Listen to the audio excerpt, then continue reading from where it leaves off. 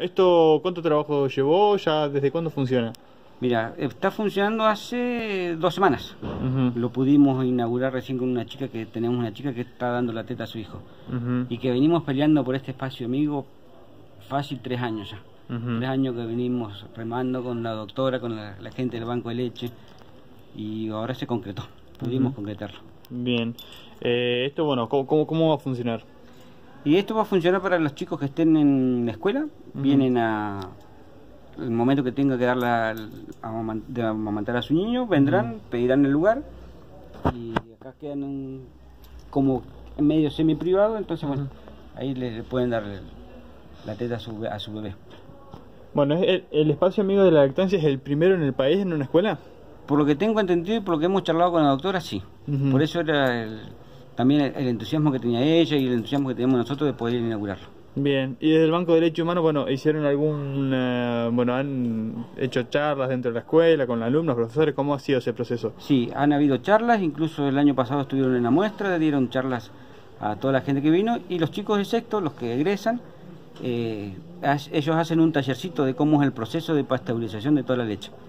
Eh, después de todos esos chicos que vienen, se sacan tres que van y participan del proceso en el hospital.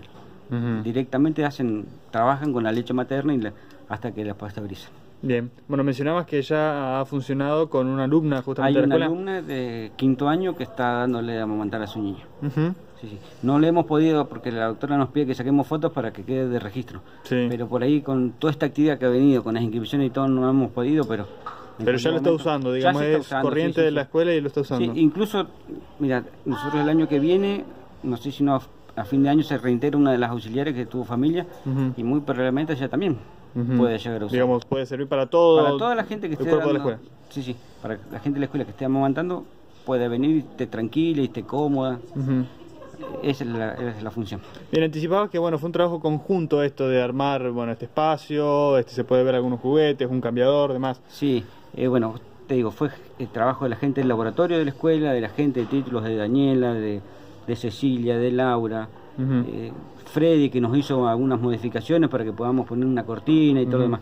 Así fue un trabajo de toda la gente. Bien, y bueno, una donación importante también que se va a sumar. Sí, hay una donación importante que la gente del banco ya lo sabe, que es una heladera.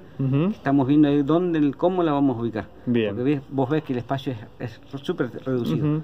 pero, esta heladera va a servir por ahí para poder también almacenar, ¿no? Y yo creo que si en algún momento se puede hacer extracción de leche, pues capaz que sirve para almacenar también. Eso tendríamos que hablarlo bien con la doctora para ver qué, qué temperatura y todo lo demás y, cada cuánto tiempo, si es así, cada, cada cuánto tiempo pueden venir a buscar. Bien. ¿Siguen en contacto con la gente del banco de leche?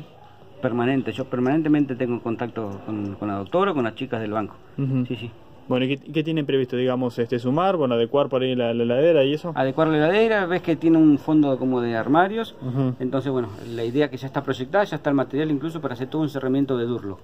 Y esta cortina de, tela que tenemos ahora, trata de poner algo que sea un poco más, más de resguardo para la gente que estamos mandando.